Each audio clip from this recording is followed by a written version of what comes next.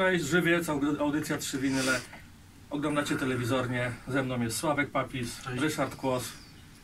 Porozmawiamy chwilę o legendzie, o grupie Fatum. Ryszard, jesteś autorem słów do Manii Szybkości. Jak, jak patrzysz na to, że po tylu latach Mania Szybkości cały czas jest na topie? do tablicy, żeś mnie wyrwał i zapomniałem języka w gębie. E, wiesz co, mm, i przede wszystkim jest mi bardzo miło, że jest na topie, ja się tego po prostu nie spodziewałem. No, u nas jest 148 tygodni, jutro jest notowanie playlisty, jest 148 tydzień na playliście u nas. No to szacun. E, co tu więcej powiedzieć? Nie spodziewałem się, po prostu nie spodziewałem się. E, poprosił mnie Piotrek Pajus, e, gitarzysta tej, tej kapeli, żeby po prostu do tej muzyki był jakiś fajny, e, no przepraszam za kolokwializm, e, wypiardowy tekst. No i myślę, że ze swojej strony zrobiłem najlepiej jak potrafiłem. Długo, długo rodził się pomysł w głowie, od razu miałeś wenę na tekst? Wiesz co, od razu miałem wenę na tekst.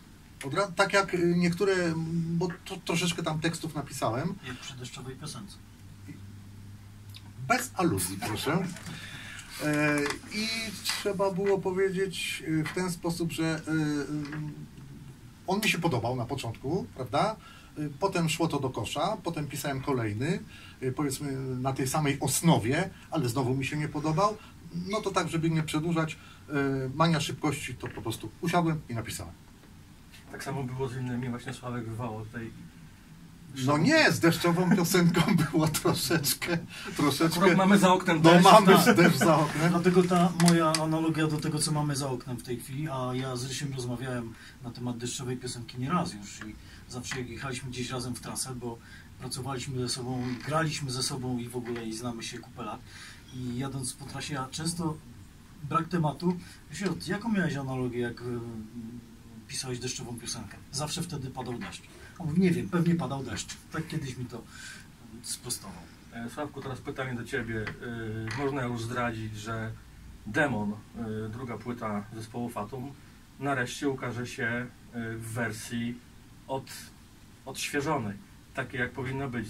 Zremaster, zremaster, mi Zremasterowana. Zremasterowana. Tak, można powiedzieć, dlatego że e, sama płyta już jest w streamingu, tylko jest chwilowo wstrzymana, dlatego że jeszcze wspólnie z Piotrkiem Bajusem e, staraliśmy się wywiązać wszystkich umów, które były zawarte odnośnie manii szybkości z firmą, której nie będę wymieniał, bo może by sobie tego nie życzyli. I e, te umowy stracą ważność po 20 czerwca. Więc teoretycznie cała płyta, bo gdybyśmy wrzucali pojedyncze nagrania, one by się ukazały już, teraz by były. Natomiast chcemy zrobić strzał i chcemy całą płytę wrzucić na streaming wszędzie, gdzie się da.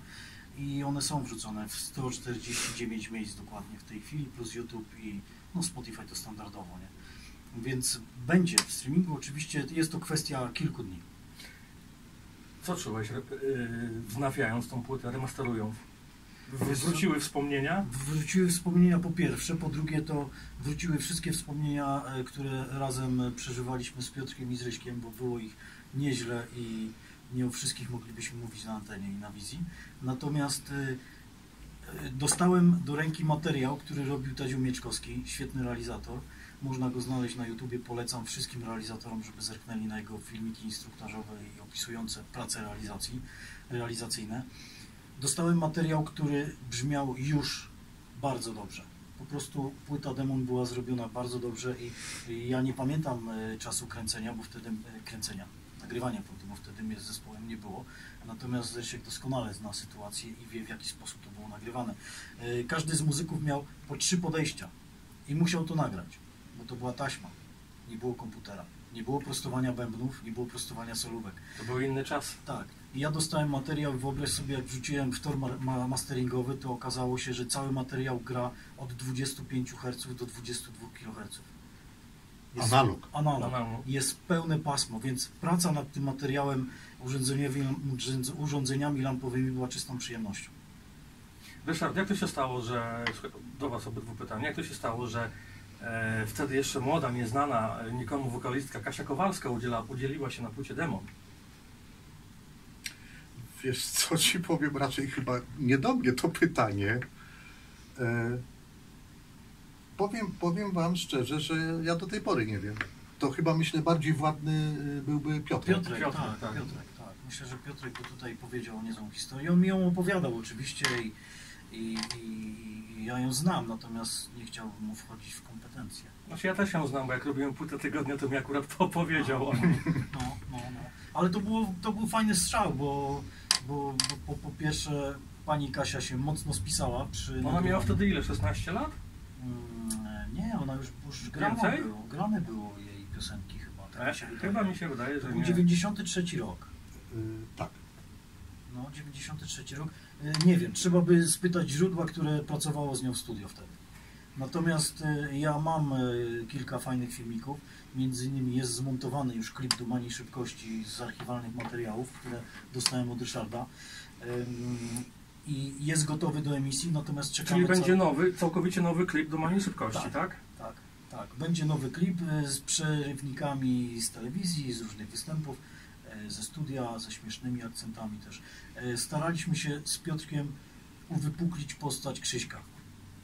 Nieodżałowanego Krzyśka. Tak, który Ostasiuka. napisał świetną muzykę, bo to jest jego muzyka. E, No i Grzesiek napisał świetny tekst. No. Także to, to jest nagranie, które po prostu zażera wszystkim. No, słuchajcie, y, y, Mania Szybkości ukazała się na pierwszym longplayu i na demonie. Tak Y, jest. y, Co, co spowodowało to, że y, dwa razy została nagrana? Bo ona się różni, diametralnie się różni. No może nie diametralnie. Jest tam y, zmieniony aranż, prawda? No bo jakby y, klo, prawda, trzpień y, tego kawałka Został ten sam. został ten Tak. sam, no ani, ani metrum się nie zmieniło, ani, ani melodyka się, Mhm. no tam troszeczkę, to już tam powiedzmy aptekarskie, aptekarskie szczegóły. Aranż uważam, aż moje oczywiście skromne zdanie, jest dużo lepszy. Y, Natomiast odpowiadając na twoje pytanie, y, dlaczego się ukazała, no myślę, że dlatego, jak żeś był uprzejmy parę minut temu powiedzieć, fajny kawałek. No, fajny kawałek, moja żona do tej pory ma go jako dzwonek w telefonie. Miło mi. Panowie, dzięki serdeczne za, e, za chwilę rozmowy. E, Może dwa słowa dla widzów telewizorni. To ja, ja zapraszam serdecznie do y, posłuchania płyty Fatum pod tytułem Demon na streamingach wszelkiej maści i treści, łącznie z YouTube'em i, i z Google i z Facebookiem, z Instagramem, wszędzie będzie. Y, Zalecam słuchać na dobrych słuchawkach i głośno.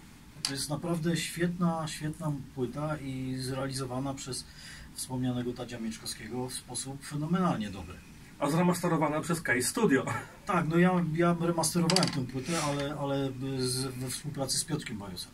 Byliśmy cały czas na łączach podczas remastera tej płyty i, i to byłby chyba potrzebny czas na drugi odcinek.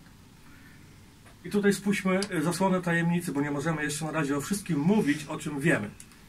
Także dzięki serdeczne. Sławek Papis, Rysiu, Kłos.